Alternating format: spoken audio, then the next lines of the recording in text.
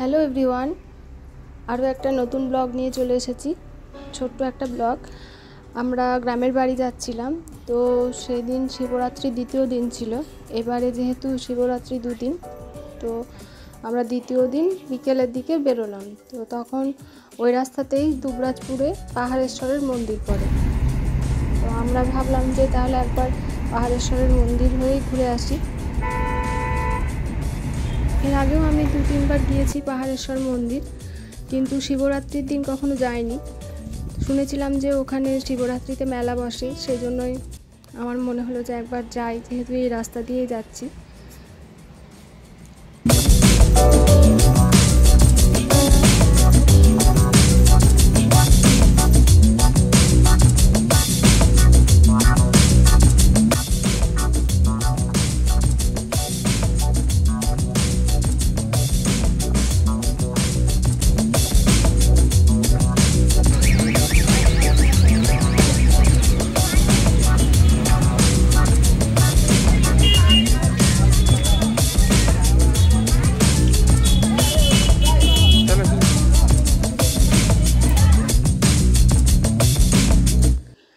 পৌঁছে গিয়ে আমরা যা দেখলাম যে ওখানে একটা ছোট্ট করে মেলা বসেছে আর যেহেতু দ্বিতীয় দিন ছিল, প্রথম দিন হয়তো আরও বেশি দোকান থাকবে।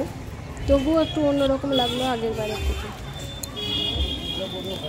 চলুন সামনের দিকে যাওয়া যাক।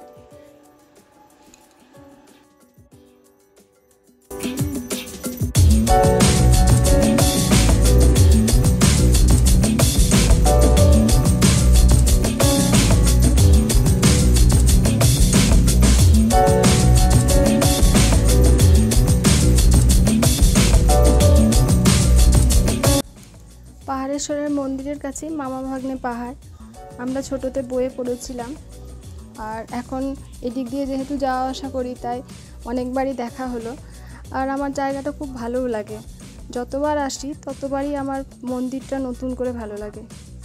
এত বড় একটা মন্দির আর সাদা রঙের, যা দেখলে চোখ জুড়িয়ে যায়।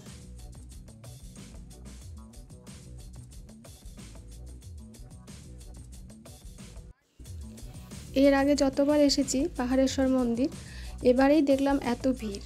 অনেক সাইকেল, অনেক বাইক, আর কয়েকজনকে দেখলাম গাড়ি করেও আসতে। আশেপাশে গ্রামের সবাই মনে হলো যে বাবা ভোলেনাথের মাথায় এখানে জল ঢালতে আসে শিবরাত্রির দিন।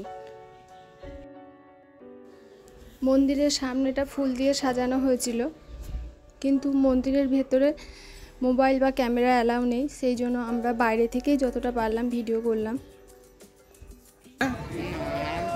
আমি মন্দিরের ভিতরে গিয়ে বাবা ভোলেনাথের দর্শন করে এলাম।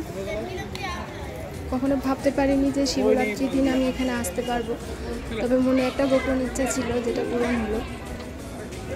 আজকের এই ব্লগটা এতটুকুই ছিল। দেখা হবে পরের একটা ব্লগে। খুব তাড়াতাড়ি সঙ্গে থাকুন আর আমার চ্যানেলটি সাবস্ক্রাইব করে পাশে থাকবেন।